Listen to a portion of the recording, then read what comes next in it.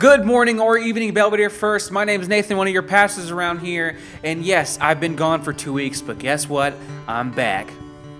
The only announcement we have this week is that we are currently in a fundraiser that is helping raise money for our building fund. So look around our beautiful church, our beautiful facility. We have some certain projects and different things we want to kind of grow and expand. So we are currently starting a fundraiser where we're selling Rockford Rivet tickets, and everything that we uh, buy off this goes to help support our uh, building fund. So make sure you, even if you don't want to go there, these can make great Father's Day tickets. You can go ahead and give it to your father give it to I wouldn't say you're well. You can give it to anybody that really wants to go to watch them uh, watch the game. So make sure you buy those to help support us um, because yeah, it's just gonna be great.